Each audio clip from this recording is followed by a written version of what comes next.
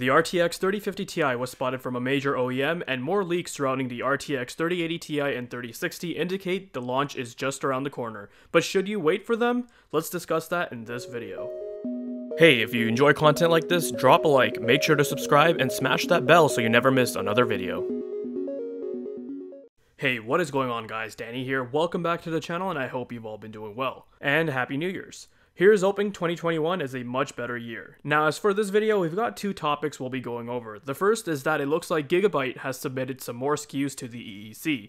This was spotted by VideoCardz and the screenshot they posted shows us a whole bunch of SKUs Gigabyte has submitted. If you've been shopping around for GPUs hoping to snag one, and you've paid attention to their models, then you'll be familiar with what they carry for the current generation. They set their higher end premium models under the Aorus branding such as the Extreme and Master GPUs, and under their regular Gigabyte branding they have GPUs like the Vision, Eagle, and Gaming OC models. They have varying SKUs for all the RTX 30 series GPUs so released so far, so naturally naturally, it only makes sense you'd see them produce all those SKUs for these new upcoming chips. Though if you ask me, it definitely just oversaturates the market and makes it confusing for the consumer. I mean, if you actually take into account all the models they have, Extreme, Master, Vision, Gaming OC, Eagle, Turbo, that alone is like 7 models. Gigabyte, why do you need 7 different models? But they're not the only ones who do this. I'm just personally not a fan of it and would rather they just lower the amount to something more sane like 3 and just invest into making those models top notch. Not to mention, even the cheapest variant will deliver the same level of performance as the highest SKU model, which is quite comical considering the Gigabyte RTX 3080 Eagle, which is Gigabyte's cheapest RTX 3080 closest to MSRP, is like 2 to $300 cheaper than the 3080 Extreme, but still delivers like 99% of its performance, because at the end of the day, they're all the same GA102 GPU. This is generally why I recommend people to buy the cheapest AIB model they can find. Of course, look at reviews to see how they perform acoustically and in regards to thermals so you don't end up with a jet engine, but you can take the Asus TUF gaming model as an example, as it's close to MSRP and is regarded as one of the best RTX 3080s on the market. In regards to performance, acoustics, and cooling, that's just the way it goes. But anyway, anyways, I just went off on a tangent there, but point is, purchasing GPUs would be that much easier if there weren't so many SKUs from all these AIBs.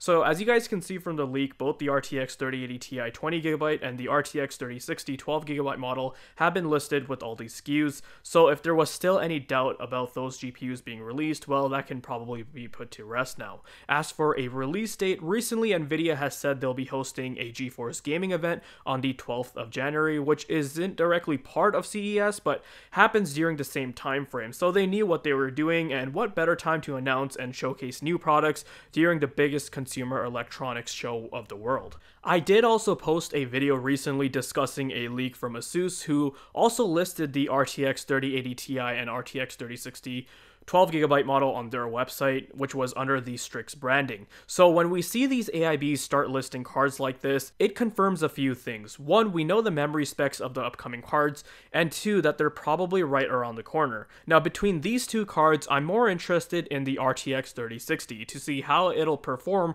relative to the RTX 3060 Ti, and just in general, cheaper GPUs offer a lot more bang for the buck and are the GPUs most buyers will be buying in this market. There should be a considerable considerable performance difference between the two as the 3060 Ti was based on the GA104 larger die and the 3060 will be a smaller GPU based on GA106. Whereas for the RTX 3080 Ti, well I've already expressed my lack of interest for it in the previous video.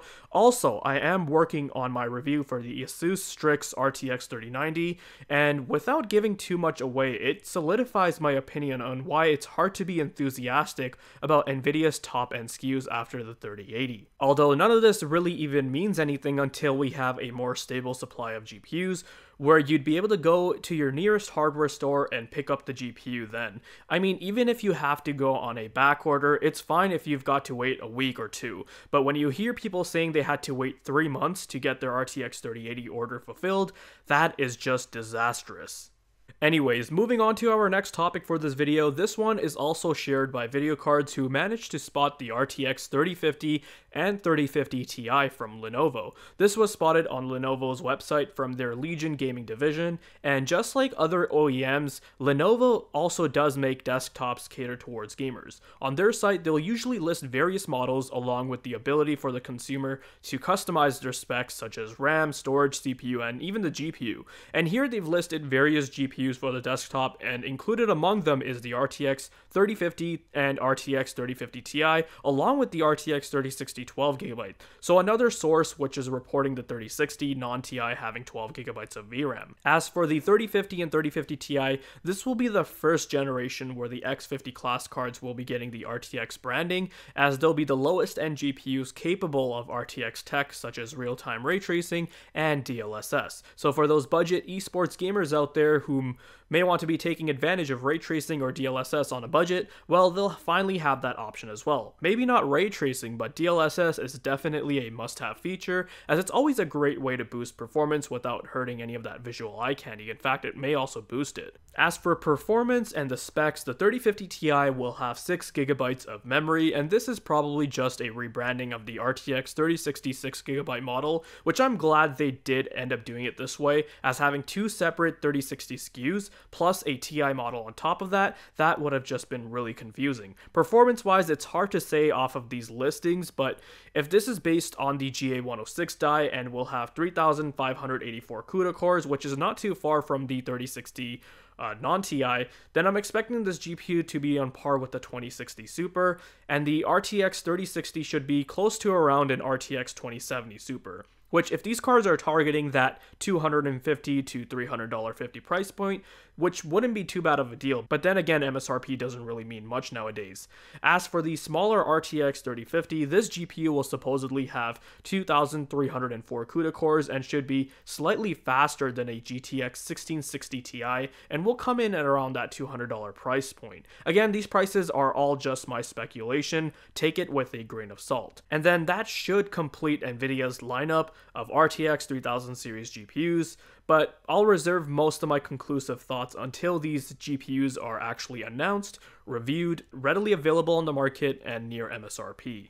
I hope you guys found this video to be informative and helpful. Let me know your thoughts down below. Check out the video description on ways to support the channel and for my other videos. If you guys are interested in more content like this, then make sure you subscribe. Thanks for watching, take care, and I'll see you guys in the next one.